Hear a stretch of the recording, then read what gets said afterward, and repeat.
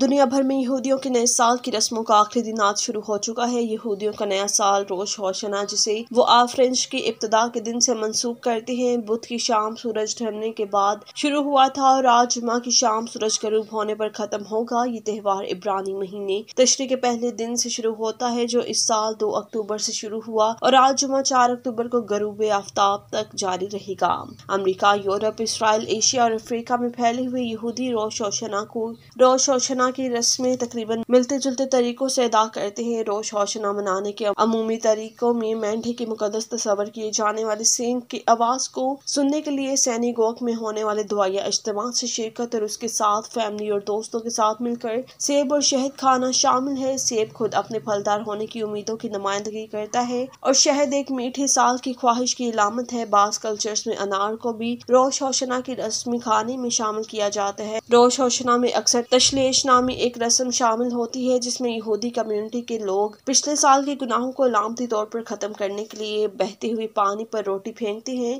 روش اشنا کے بارے میں خیال کیا جاتا ہے کہ وہ دنیا کی تخلیق کی تاریخ کے متعلق تہوار ہے۔ اس تہوار کے ختم ہوتے ہی ایک دوسرے یہودی تہوار یوم کپور سے پہلے آنے والے خوف کے دن یا توبہ کے دس دن بشروع ہو جاتے ہیں۔ دس دن کی یہ مدت عبادت اور توبہ کرنے میں گزارنا بہتر تصور کرتے ہیں۔ اور آج دس دن کے خاتمہ پر یوم کپور کا تہوار مناتے ہیں۔ یوم کپور یہودی کیلنڈر کا سب سے مقدس دن ہے۔ یوم کپور منانے والے یہودی بالغ عام طور پر تقریباً پچیس گھنٹے روزہ رکھیں گے۔ اس سے پہلے والی رات پچیس گھنٹے روزہ رکھیں گے۔ یہودی کیلنڈر بنیادی طور پر چاند پر مبنی ہے۔ روش ہوشنا اور یوم کپور ہمیشہ یہودی کیلنڈر پر ایک ہی دن منایا جاتا ہے۔ روش ہوشنا کے دوران یہودی ایک دوسرے کو چاند تو وہ کہہ کر نئے سال کا سلام کرتے ہیں۔